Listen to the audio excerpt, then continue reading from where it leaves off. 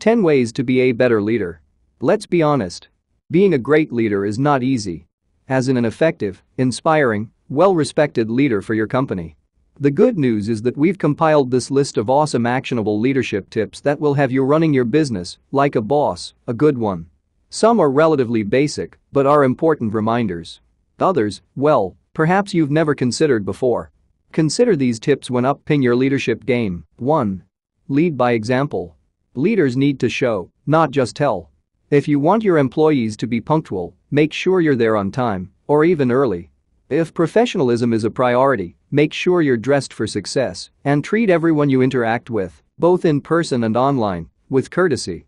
Set the tone and your employees will follow it. 2. A little humility goes a long way.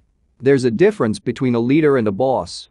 While both are in charge, a leader shares the spotlight and is comfortable crediting others. While it might seem counterintuitive, being humble takes more confidence than basking in glory. Your employees will appreciate it, and your clients will, too. 3. Communicate effectively. Effective communication is imperative, both in the office and in life. Great leaders make sure they are heard and understood, but they also know the importance of listening. Communication is a two-way street, and making the most of it will have your company zooming forward instead of pumping the brakes.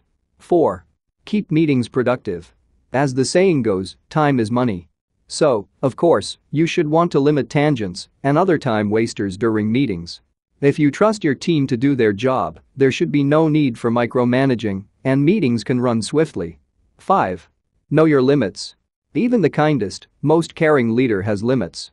Set your boundaries and stick to them. Knowing what you will not tolerate can save everyone in the office a lot of frustration, and keeping boundaries clear means there's no confusion. 6. Find a mentor. No man is an island, as they say. The best letters out there know when they need help, and they know where to turn to in order to get it. Nobody can know everything, so finding someone you trust for advice when things get tough can make all of the difference. 7. Be emotionally aware. While many people advise keeping emotions separate from matters of business, business is ultimately about relationships between people. To make these relationships last, you need to be emotionally intelligent, to be sensitive to different points of view and different backgrounds. When using your head to do what's best for your company, don't forget to have a heart. 8. Watch out for and avoid common pitfalls of leadership. Everyone makes mistakes, but some of them are avoidable. Being aware of common mistakes, while not focusing on them to the point that they become self-fulfilling prophecies, can be the first step toward not repeating them. 9. Learn from the past.